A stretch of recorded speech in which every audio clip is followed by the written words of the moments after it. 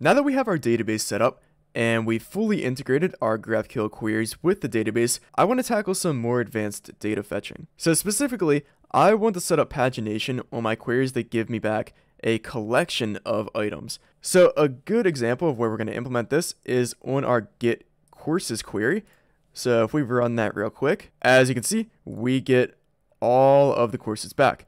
But, you know, maybe I only wanted the first two courses or maybe the next two courses. How can we support that? Well, luckily, with hot chocolate, it's actually extremely simple. So using hot chocolate, we can add an attribute to our query. In this case, we want pagination, so this is going to be use paging and import that from hot chocolate. And by default, this is going to set up cursor-based pagination. So let's run this and actually see how that works. So if we look at our courses query, we can open this up and we can take some parameters. Let me refresh my schema so we can see that. And let's start off by just taking the first three courses. So we'll specify the first parameter as just a 3, could be any number. And of course, now that we're using paging, this actually changes our GraphQL schema because we have to support all the metadata associated with paging. So if we open this up and look, we get edges, nodes, and page info. But where the heck is our courses data? Well, that is going to be in edges. So we can open this up and inside here we have nodes and on our nodes, our nodes are going to be our individual courses. So that is the data we want to query. So we can move all of this in here before we tackle all the other stuff on this query. So other than edges, we also have nodes and this also contains our course data, but we're not going to query this because we want to dig into the edges because edges has something else that we need. So not going to mess with that. But there's also page info. So if we look at that, that just has the last cursor, some other metadata. So is there another page after these first three? Is there previous page? And then the first cursor as well. So in fact, I don't think I really want any of that, although I guess end cursor could be useful. But more importantly, I want to head back up to these edges that we're querying into.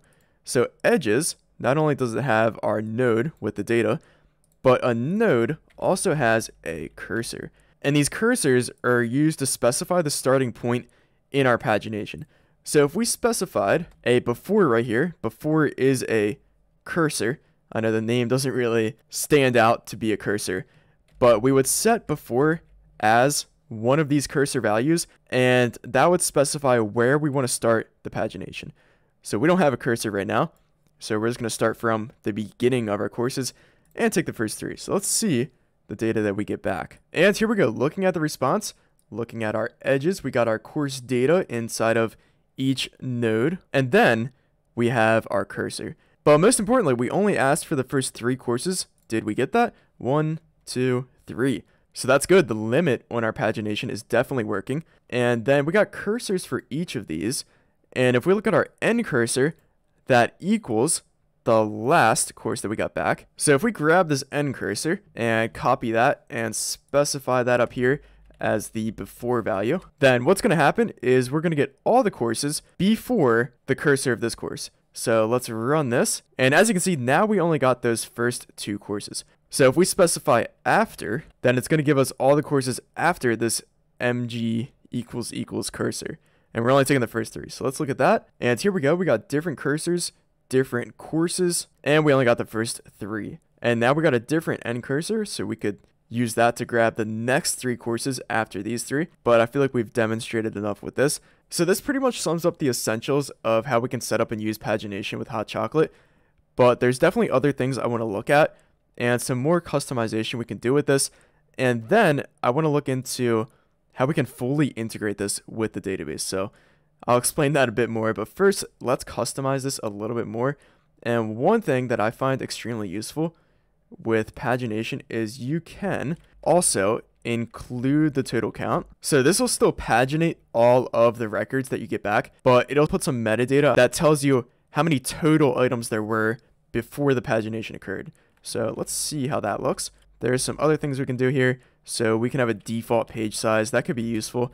Maybe we can set that as 10. So all we're looking for is the total count. So even though we're only going to take the first three, and let's get rid of this after.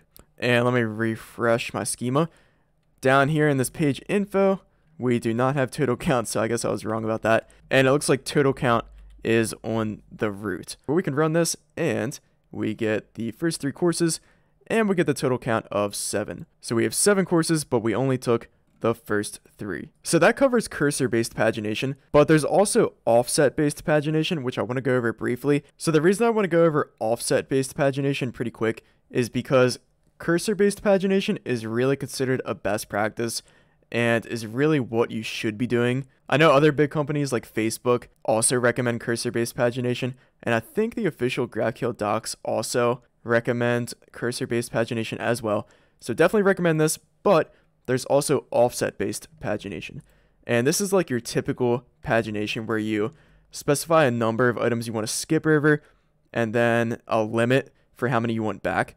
So to do that, instead of use paging, I've just copied this query. I guess I'll have to give it a different name. Get offset courses.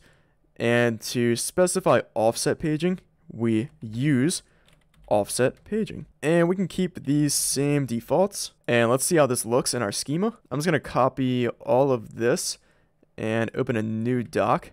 I'll have to refresh my schema as well. And these parameters are different once I specify the right query. So we want offset courses. That's what we name this query. And now we just have the usual skip intake. So we'll skip over the first two courses and take the next three courses. And instead of edges and cursors, of course, there's no cursors in offset-based pagination. Instead, we get items, which contains our course data. There is still page info, and there is still a total count because we enabled that. But on page info, no cursors, of course. There is just a has next page and has previous page. So I guess that can be useful to show off. Let's run this, and there we go. We get three courses back. I assume we skipped two. It's kind of hard to tell because all of our courses are similar and then still got the total count, and we do have another page after this. But nonetheless, still prefer cursor-based pagination. It's usually more performant, and also with skip and take, it can be a little bit flaky if your data is changing a lot. You could end up getting duplicate records back or skipping over records. Although usually that's not a problem. So I'm just going to delete the offset pagination. We're sticking to the cursor. But speaking of performance, let's talk about our database. So with this pagination, for example, I was only asking for the first three or the first five courses back, but we were getting all of our courses from our database and then performing that pagination. So for example, we can see that I've added this logging to our DB context. So in addition to using SQLite, we have log to our console so we can actually see the SQL queries that are being executed. So if we run this, and I'm just going to grab the first three courses again, and let's look at our logs. Kind of hard to find stuff in here, but I think this is it. So we are doing a select from our courses, but we're not applying any kind of limit on the amount of courses that we get back.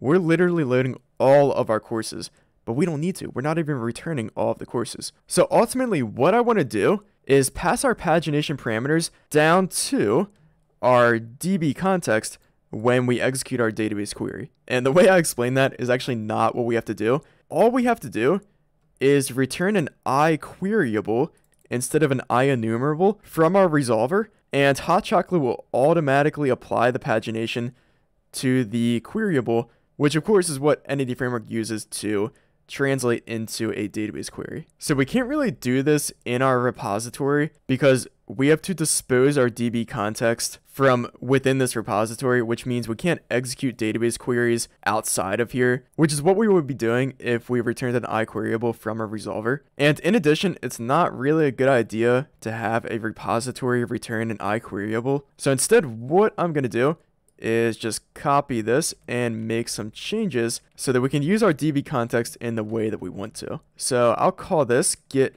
paginated courses and we'll just remove pagination from our old query. It's just not efficient the way that we have it set up. I want to actually apply that pagination against our database query. So since we're not going through the repository, we're going to inject our DB context directly into this method. So that's going to be a scope service that Hot Chocolate is going to resolve.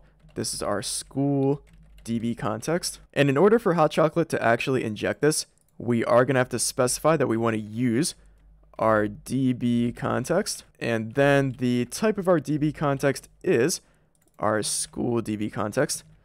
And one thing I want to point out is that the order here does matter So we have to use our DB context before we use paging or else this is not going to work. So in order for this pagination to be applied directly to our database, we have to return an iQueryable, which basically represents our Entity Framework database query. As we mentioned, no longer using our repository, and instead, we're just going to directly use our database context.